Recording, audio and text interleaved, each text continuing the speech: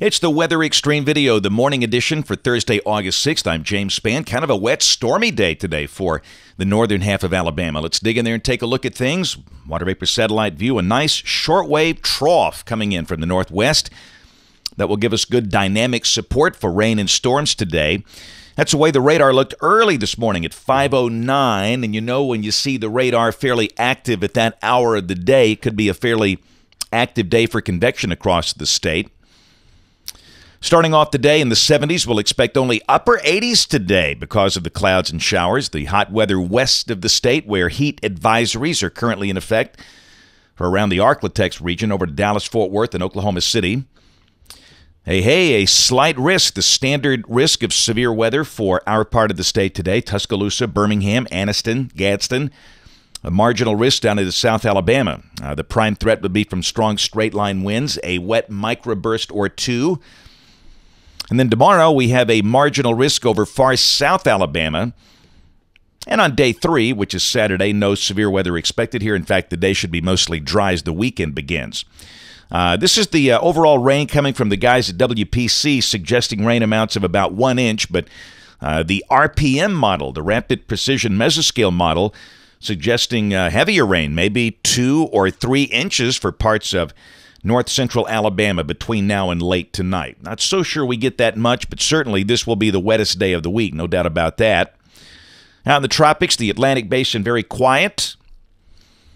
In the western Pacific, Soudelor, the big typhoon, has weakened a lot. Uh, the sustained winds about 100 miles an hour, but it's expected to increase again in intensity as it approaches Taiwan, uh, which uh, would likely come across that island tomorrow uh, with potential for wind damage and flooding rains, and then over into mainland China after that. All right, model fans, here we go. The GFS, the 06Z run, valid today at 1 o'clock local time. There's that good shortwave energy coming through. That's a pretty classic uh, look for active storms there. Got a surface low northwest of the state.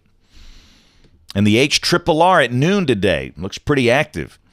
Uh, you know, we'll see if the air can destabilize. If we see clouds and rain much of the day, that will kind of lessen the severe weather threat. But certainly, uh, if the sun breaks out for a while, we could see some pretty strong storms this afternoon. And the rain could easily be heavy at times. You saw the RPM suggesting maybe some two and three inch amounts. There could be some minor flooding problems along the way. Uh, and again, uh, heat not a problem today. We'll stay in the 80s. Tomorrow, the weather trends hotter and drier. Both the NAM and the GFS are at 91, partly sunny. The main dynamic support pulling off to the east. There could be a storm, but I don't think we see that many. And then for the weekend, mostly hot and dry. This is Saturday. Uh, we'll expect mid 90s, lots of sun, and the same thing on Sunday. Chance of rain, not zero, but most of the weekend will be just hot and dry. Now, Monday of next week, got a surface front approaching, and that might bring an increase in showers and storms again. We've seen some different looks on this, and this is Tuesday.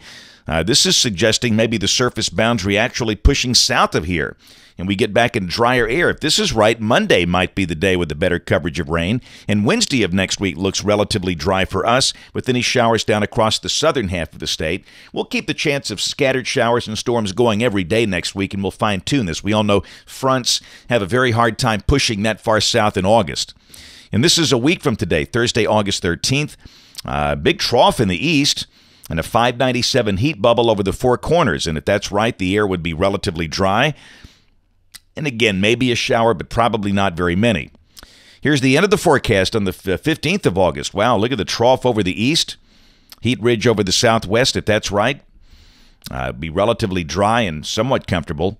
And again, these top numbers are too high here coming off the ensembles. We don't expect 101 on Monday and Tuesday, more like mid 90s. Uh, but look at the low 60s this thing is printing toward the end of next week, and I think that's very possible. We might even see some upper 50s in the cooler pockets. That'll be a nice fall preview if that works out. Temperature anomalies August 13th through August 19th, a little above average here. But again, no sign of any super nasty, nasty triple digit heat.